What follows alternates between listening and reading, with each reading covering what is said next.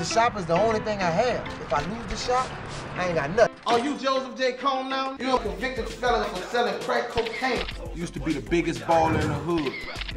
I'm just making sure you ain't trying to be me. I gotta keep my eyes on the competition. That's a hundred grand, and I want it by midnight. Give me my money. You know the first rule of hustle? You gotta pay your debts. You gotta keep your word. Fans game over, man. We investigating them for murder. Well, well, well. My man Flo. Come on, man. Ah! I just wanted to make sure I was cool.